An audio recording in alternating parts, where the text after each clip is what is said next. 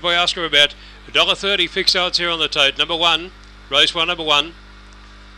Racing good Oscar side begin up with the goods there. Rusty one, Mr. 10. Going out fast out the centre there. Hillbilly Spunk led narrowly. Coming around the outside outsiders. Regal Hustler going through on the inside. All in Tara. They were followed further back then by Good Boy Oscar railing up on the inside. Then came Harry Cho, followed further back by Cat Weasel. In the straight, All in Tara the leader. Coming out after there came Hillbilly Spunk on the outside who took the lead narrowly near the line. It's a tight one. Tara is kicked on the inside and Hillbilly Spunk. Followed then by the long odds on shot there. Good Boy Oscar third. Behind them then came uh, Harry Cho, Fine Wine, Rusty One, Regal Hustler. The time of the ad ran 22.92.